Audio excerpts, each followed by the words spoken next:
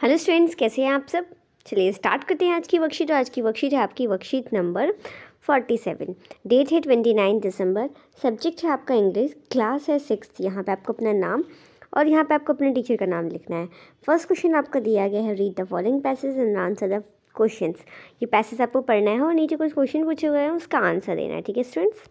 चलिए हम स्टार्ट करते हैं पैसेज पढ़ना। देखिए books are students best friend book क्या है बच्चों स्टूडेंट्स के बेस्ट फ्रेंड हैं. They are easy to carry around इन्हें हम ईज़िली कहीं भी इधर से उधर ले जा सकते हैं. Book can be read at any time of the day book हम पूरे दिन में कभी भी पढ़ सकते हैं. They are various kind of book यहाँ पे बहुत सारे तरीके की बुक हैं. We student text book in school that are part of our syllabus हम स्कूल में टेक्स्ट बुक पढ़ते हैं जो कि हमारे सिलेबस का एक पार्ट है। We read story books for enjoyment and fun enjoyment और फन के लिए हम क्या पढ़ते हैं बच्चों? स्टोरी बुक्स पढ़ते हैं।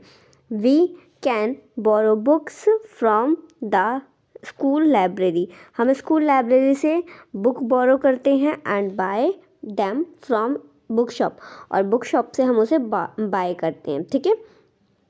They are they are also available on the internet और आजकल तो आपको पता है सबकी चीज़ें कहाँ हैं? इंटरनेट पे अवेलेबल हैं।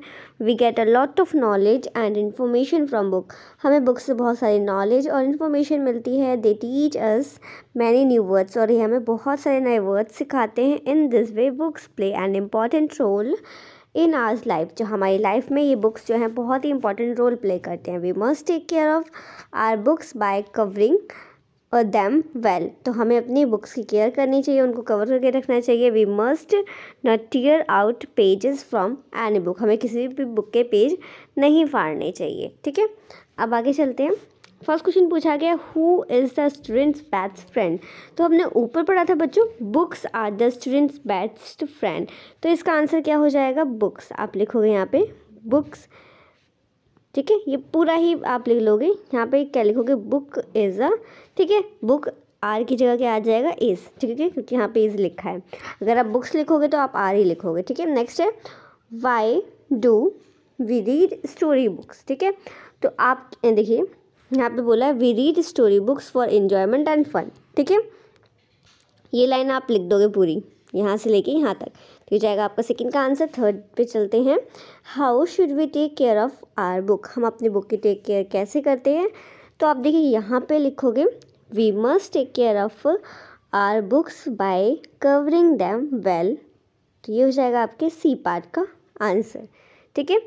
एंड इसके बाद आप चाहो तो ये वाला पार्ट भी लिख सकते हो। We must not tear out pages from any book हमें बुक के पेजेस भी नहीं फाड़ने चाहिए तो ये दोनों चीज़ें जो है, आप दोनों लाइन लिख सकते हो। चाहो तो आप एक भी लिख सकते हो, चाहो तो आप दोनों भी लिख सकते हो आपके ऊपर डिपेंड करता है।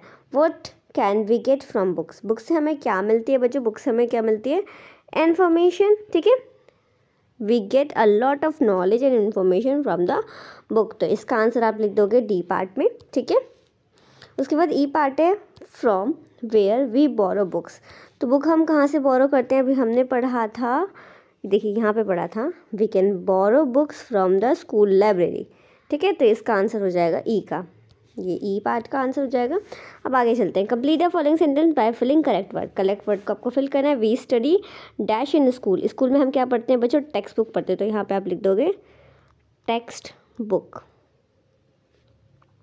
ठीक है text books books are available on internet books कहाँ पे अवेलेबल हैं? इंटरनेट पे। ठीक है? नेक्स्ट है आपका books teachers many new words book क्या है? हमें बहुत सारे नए वर्ड्स पढ़ाती है। We can buy book from a book shop ठीक है? क्या आएगा यहाँ पे? बुक शॉप बुक शॉप उसके बाद लास्ट है there are dash kind of book तो यहाँ पे लिखोगे वेरियस काइंड ऑफ़ बुक क्या लिखोगे बच्चों? वेरियस ठीक है? ये वाला वर्ड लिखोगे। अब आगे चलते हैं। Find opposite word for the following इनके अपोजिट वर्ड फाइंड करने हैं आपको। तो सेल का हो जाएगा बच्चों। सेल का मतलब बेचना होता है और बाय का मतलब ख़रीदना होता है, ठीक है? लैंड का हो जाएगा आपका बोरो ठीक है? लैंड का मतलब देना बोरो का मतलब लेना।